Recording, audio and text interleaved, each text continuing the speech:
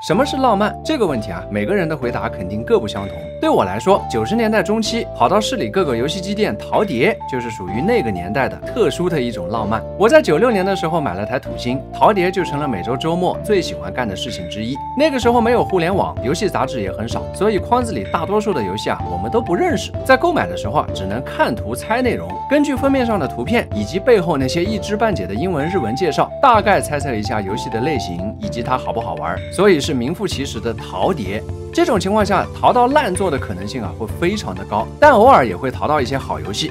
铁甲飞龙就是我淘碟的时候差一点错过的精品。不得不说，这个封面啊真的不怎么吸引人，花花绿绿的，很有烂作的气息。老板，这个是什么类型的游戏啊？开飞之调。一听到是开飞机的，我就完全提不起兴趣来。想象中大概就是跟街机上的一九四五差不多的东西，那种游戏呢，在街机房里玩玩就算了。所以每次看到它都是直接 pass 掉。可是有一段时间闹游戏荒，实在是没有什么东西可玩了，挑来挑去也挑不出好的。最后想想，要不然就开开飞机算了吧。于是就把铁甲飞龙买了回去。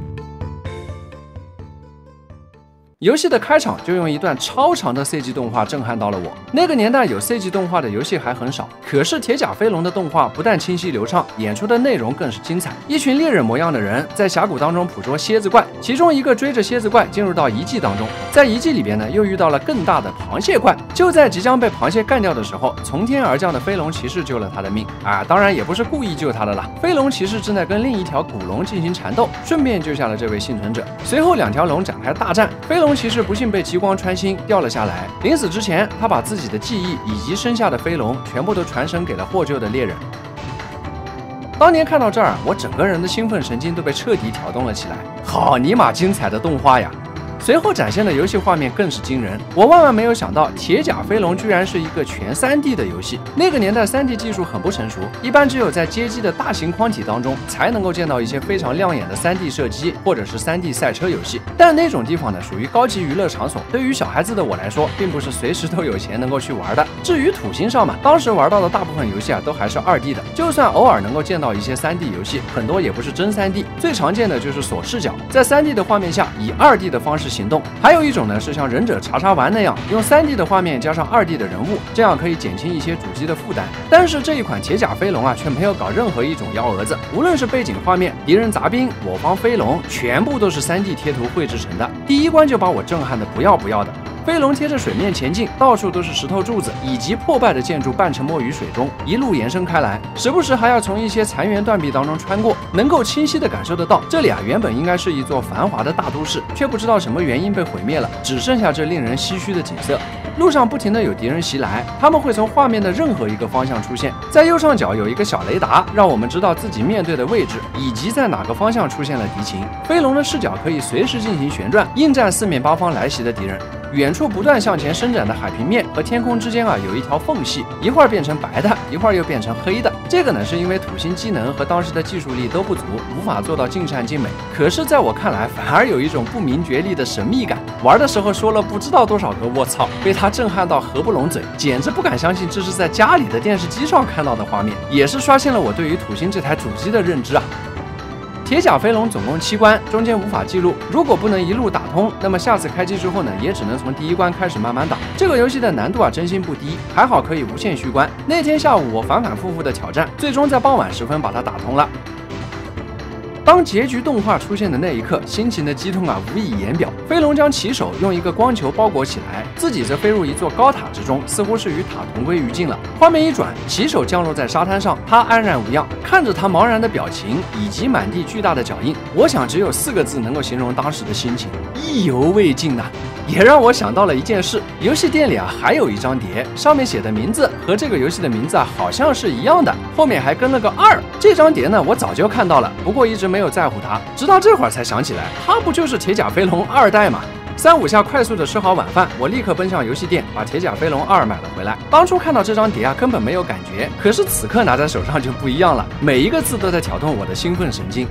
二代的故事发生在一代结束后的几年当中，男主叫 Landy，是一个偏远村庄里的居民。当地的村民会驯养一些体型较小、性格较温顺的龙作为人类的帮手。但是啊，这个附近的村子都有一个不成文的规定，就是新出生的小龙脖子上如果有蓝白色光芒出现的话，就会被视为变异龙，要立刻杀掉，因为他们认为变异龙会带来灾厄。可是 Landy 却偷偷的收养了一条这样的变异龙，没有告诉任何人。他给小龙起名叫垃圾，呵，不错，起名鬼才。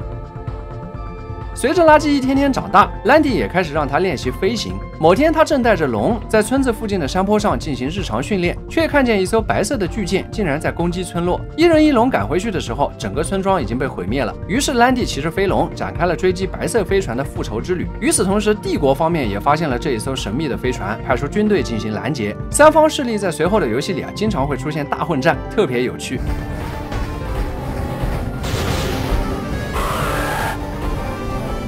铁甲飞龙初代的帧数很低，并且不稳定，经常会出现明显的卡顿，这一点在二代当中大幅改善。有没有超过二十五帧我不知道，反正在当年是属于最流畅的 3D 游戏之一，是绝对丝滑般的体验。垃圾龙刚刚成年，它在一开始甚至还不会飞，第一关当中是全程以走路的姿态迎战敌人的。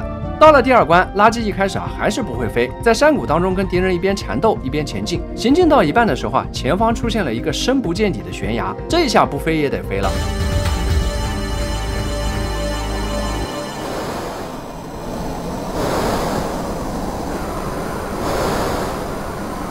在小龙飞起来的一瞬间，背景音乐全部消失。此刻天地一色，浩瀚无边，追击的敌人已经消失不见，只有耳边掠过的风声，似乎是在分享第一次飞行的喜悦。我经常说，人生中有很多难忘的回忆，而飞龙从悬崖边腾空而起的这一幕，便是我个人永恒的记忆之一。这次的飞行啊，只是短暂的。很快，他们又回到地面上，继续跟追兵缠斗，一直到这一关结束之后，飞龙才真正的飞上了天空。注意看的话，还有一个特效，类似于破茧而出这么个意思吧。垃圾有一条只能走路的小龙，进化成了真正的铁甲飞龙。游戏里没有太多的过场动画和语言，可是却一次次的用这些出色的小细节，让当时只是个半大孩子的我，整个人都带入到当中去了。二代一共也是七关，这一点啊倒是跟初代一模一样的。当中会经过森林、冰原、荒漠、地下河，后期还能见到一艘巨型战舰，也就是一开始摧毁村庄的那一艘呗。飞龙穿梭于战舰的外部和内部进行战斗，非常震撼。另外还有一件事情能令我的印象特别深刻，就是它的最终 BOSS，那是一个拖着长长尾巴的飞行生物。我在很长的一段时间里啊，从来都没有发现过它居然是有两个形态的。直到有一天在把它打死了之后，画面一闪，一条飞龙从下方的云层当中冲天而起，随后张开一对彩色的双翼，以极快的速度上下翻飞，跟男主的龙展开缠斗。我此前已经打通《铁甲飞龙二》很多遍，每一次都是刚打完那个长尾巴的 BOSS 就直接进入结尾动画，所以你能想象我第一次见到隐藏形态时候有多惊讶吧？后来打多了才发现，似乎啊是要打得快一点就可以见到隐藏形态，打慢了就没有。铁甲飞龙被很多人誉为旧世家之魂，它没有太多的过场动画，也没有很多啰里吧嗦的台词，有的只是硬核的难度、大气磅礴的场景以及出色到极致的操作手感。这便是八九十年代的旧世家，当年出品过许许多多类似的硬核游戏，让我们为之震撼，为之感动。只可惜啊，世嘉遇到的对手实在是过于强大。九七年的时候，PS 几乎仅用 FF 七这一款游戏就直接击垮了土星。到了九八年，土星只能宣布退出市场。它的后续机种 DC 更惨，在 PS 二发售之后兵败如山倒，前后仅仅存活了三年就宣布退役。世嘉也从第一方的硬件厂商变成了第三方软件商，只能替其他公司的主机开发游戏。世嘉本社的命运多舛，也影响到很多旗下的品牌。铁甲飞龙此后只在 Xbox 上推出过一款续作，可惜销量不佳，无。无法重现昔日的辉煌。再往后呢，这个系列就没有原创作品了。二零一九年的年底，世嘉在 NS 上把铁甲飞龙的初代高清重置了。由于土星上的原作画面啊，放到现在来看的话，实在是太差了，想要简单的高清化一下呢是不可能的。因此这一座包括开场的 CG 动画以及游戏里全部的内容，都是完完全全重新制作的。众所周知，NS 作为一台掌机，它的性能比起现阶段其他的家用主机啊，都是要差了不少的。这款重制版的铁甲飞龙画面也没有很惊艳，但是如果拿初代做个对比的话，还是能够感受到二十五年来技术力的巨大。进步，操作上的一些小细节也都尽可能的人性化，增加了陀螺仪瞄准模式。当年由于土星技能太差，游戏的帧数啊非常低，如今也变成了完美的六十帧画面，一切看上去都很美好。只可惜我老了，以前在土星上第一次看到铁甲飞龙 3D 画面的那一刻，我是惊讶到嘴巴都合不拢，兴奋到大半夜都睡不着觉。可是二十五年后，当再次把铁甲飞龙的复刻版打通，却连一丝激动的情绪都没有了。要不是打的过程当中还能回忆一下当年的一些情景，我觉得甚至很可能啊都无法坚持把它打完。不过呢，据说复刻版的销量还挺不错的，具体卖出了多少套我查不到，但是有新闻说开卖一周就收回了两倍的开发成本，想来应该算是不错的了。这么看的话，二代似乎也有机会被重置啊。作为旧世家的铁粉，到时候无论如何，我也是要去支持一下的啦。